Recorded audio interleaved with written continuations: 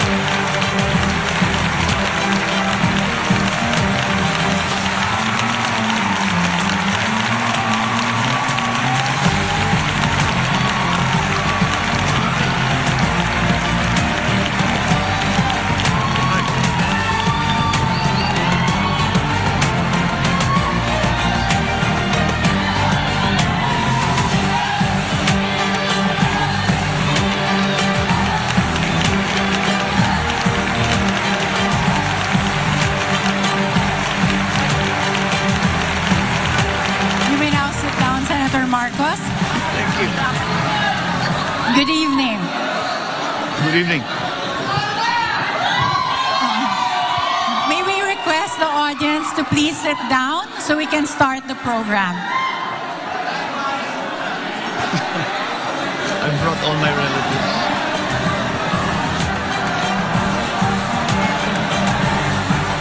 Everyone, can we ask everyone to please sit down so we can start the program?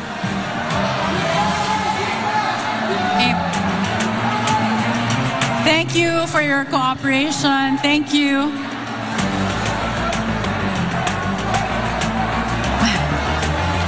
Okay.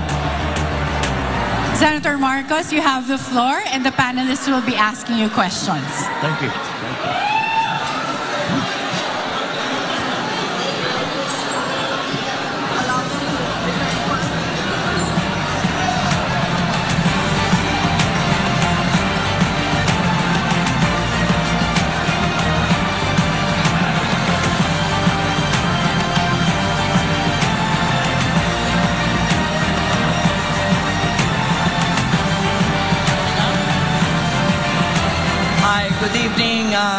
Mr. Marcos. Good meeting, ma'am.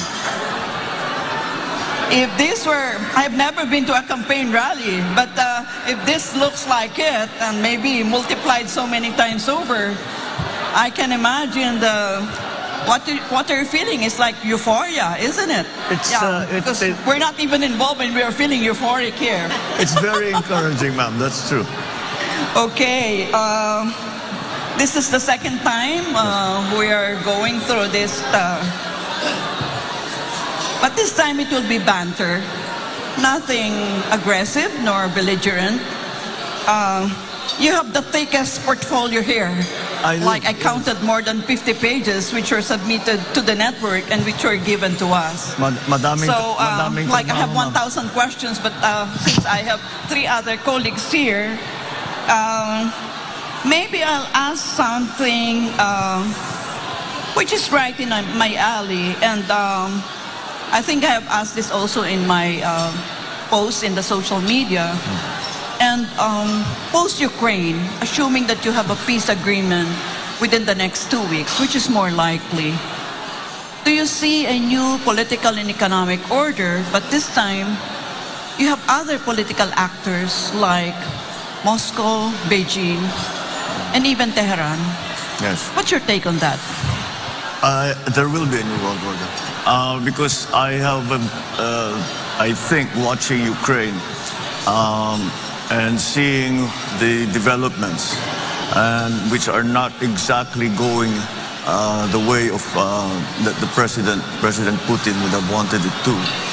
I suspect there will be domestic uh, uh, implications uh, to whatever the peace, uh, the peace agreement is going to be. I hope you're right, ma'am, that it will be done in two weeks because we are uh, the whole entire the entire world is suffering. Um, but there will there will be a be, there will be a very big change because the uh, how do you say uh, the idea I think some of the analysts have said, I don't know if you agree with this, is that uh, President Putin is trying to reconstruct or recreate the Soviet Union under another, uh, under another, another name. Uh, so perhaps this was his, this was his move. Uh, should he weaken as a political figure in his own country, in Russia, then uh, certainly the policy, uh, that policy of trying to gain uh, territory uh, through whatever means, as, as he says, because to provide for him a buffer to NATO, whatever the reason might truly be. Um, I think that will have to be uh, re-studied by whoever will be whoever will be, be will be most dominant in Russian domestic politics after Putin. Uh, so yes, I believe there will be a new world order, uh, and I think I am I am certain that uh, Tehran and Beijing are watching very very closely what will happen to Ukraine. There will be a geo- geopolitical balance of power. It also depends on what the what the reaction of the EU uh, and the United States will be. I think the United States we can predict fairly accurately. EU is in a more difficult spot simply because they are highly dependent for their energy to Russia and how they will balance that. I, I know that the Senator, uh, that the President Biden has just signed with the EU a 50 uh, a, um, a deal to supply from the United States and from other countries uh, 15 billion tons of uh, gas, which will cover some of the needs of, of, of the EU. But again, uh, that's not something that can instantly be made, uh, to, to, to, to instantly be applied. There, will be a transition period um, because it is a very large economic infrastructure that has been developed for Europe to take advantage of uh, the gas supplies out of Russia. Uh, these, are, these are all terribly large forces and inevitably will change things. Yeah, well, it seems like you have a more dire scenario, uh, future scenario in mind. But um, what I have used really is the, from a content analytical perspective using events data analysis, meaning I'm paying attention to the verbs being used by the negotiators. And, that's the, and this is not Pollyannish, by the way, Mr. Marcos. It's just that I feel that uh, Putin will not allow the conflict to spill over. It will encapsulate within the Ukraine, a conflict area. And But- that, yes, I still believe that. Uh,